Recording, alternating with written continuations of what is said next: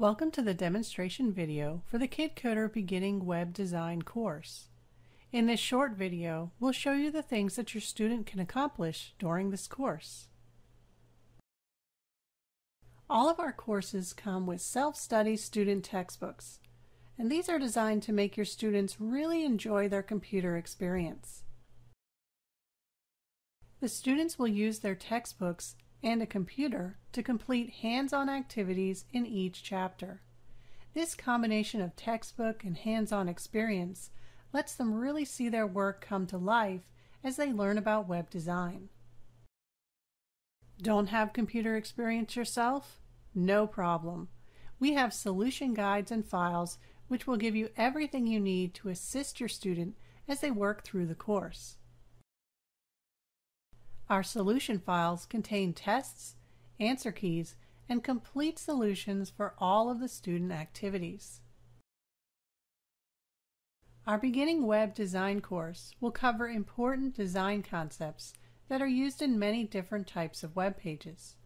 Students will learn the basics of HTML, including CSS styling, positioning, navigation, hyperlinks, lists, graphics, and tables. During the course, the student will create their own multi-page website right on their own computer. We now offer optional instructional videos that cover every chapter and lesson in the textbook. while these video lessons are not a replacement for the textbook, they are ideal for students who learn better with an audio-visual reinforcement of the material. Each video lasts around 5 to 10 minutes and will describe the lesson concepts with graphics, animation, and live action video. Now after your student completes the first semester beginning web design course, they can move on to our second semester course, Advanced Web Design. This course will teach more in-depth topics of web design, including HTML5, CSS3, and JavaScript.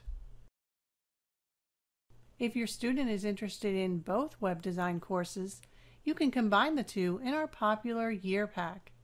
This option provides an affordable year-long computer science elective. If you need any more information, or if you have additional questions, you can contact us through our website by clicking on the contact link at the top of our homepage. We're always happy to answer questions via email as well. Thanks for watching.